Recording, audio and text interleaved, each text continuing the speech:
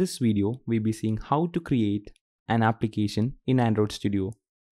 This video is for absolute beginners in Android development. First of all, create a new Android Studio project.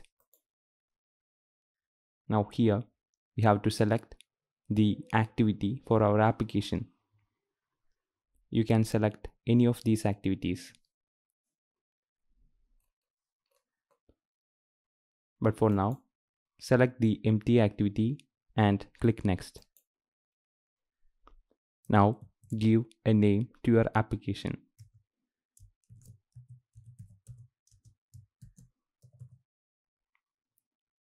Now you can change the package name of the application.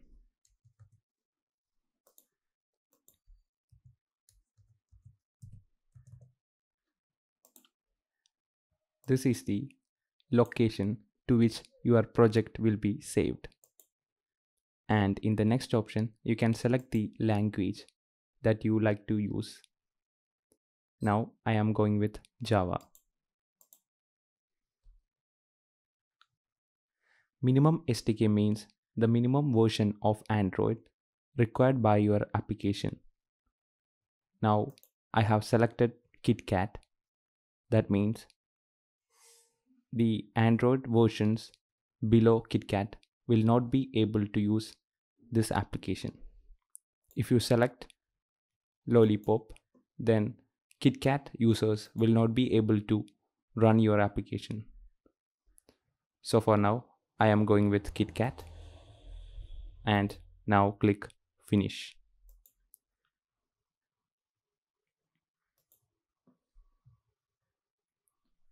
Now wait till your project gets completely built. Now you can see a folder named Java. Now inside this folder we will be keeping all our Java programs and we will only be using the folder com.firstapp.app and this is the package name that we have given earlier and we don't have to use these two folders. They will be automatically generated.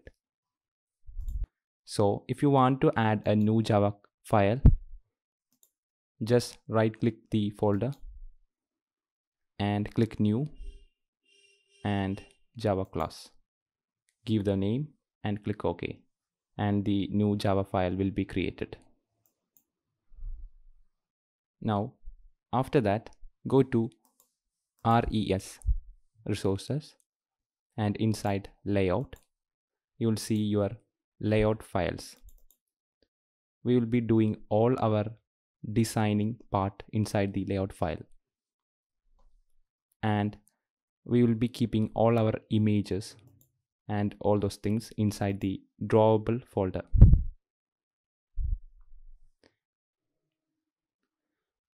Now let's add some changes to the layout. You can see that a hello world is already present. A text view showing hello world is already present. Now if you want to add an image, first of all you have to copy the image and paste it inside the folder drawable. Make sure that you select the folder drawable don't select the folder drawable hyphen version 24 select the version drawable folder and click ok. Now here we have to make sure the file name doesn't contain any capital letters.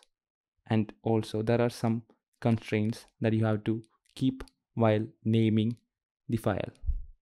So always use small letters. Now click ok and you can see the file is added to the drawable file folder. If you double click it, you can see the file. Now let's add this image. Go to the palette, common and image view. Sometimes the palette might be minimized and it will look like this. So just click the palette and you can see the palette opening. And after that drag and drop the image view.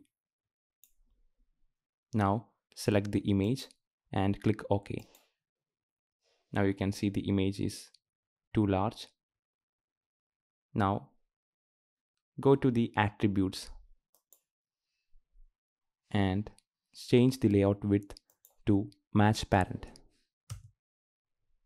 and layout height to 300 dp.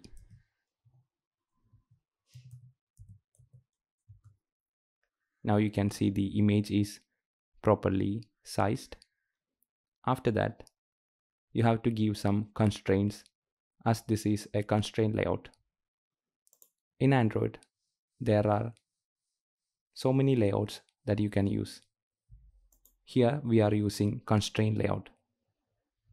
So in constraint layout, we have to specify constraints in order to hold the views in proper position. So simply click these plus symbols that will automatically set the constraints. Now the image view is properly placed. If you like to change the hello world text to something else, you can change it on the attribute side.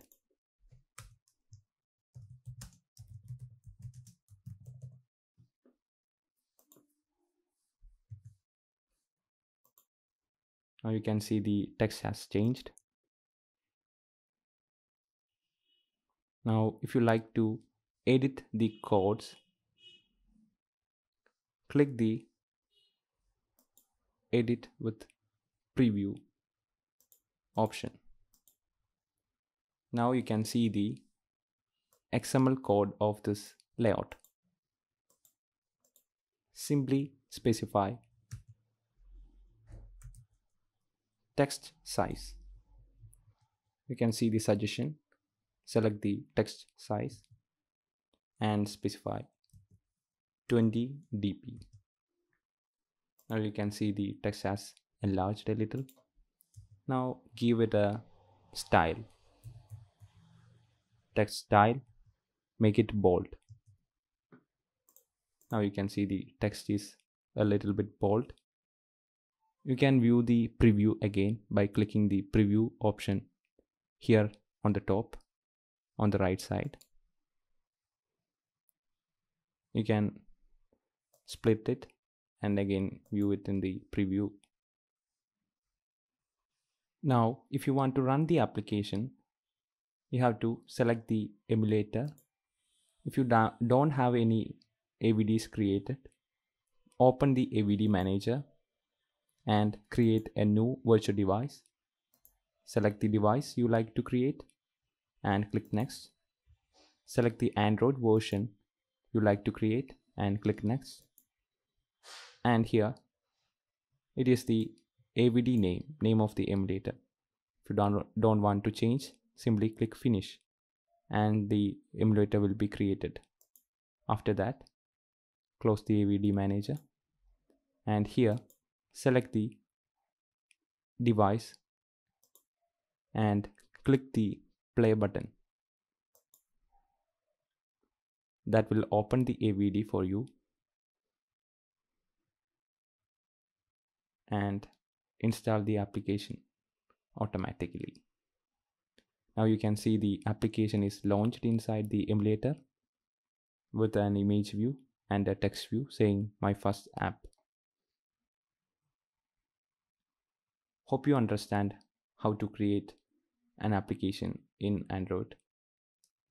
If you don't know to set up Android Studio, watch the previous video and the link is provided in the description. If you like this video, give it a thumbs up and subscribe to our channel for more such videos.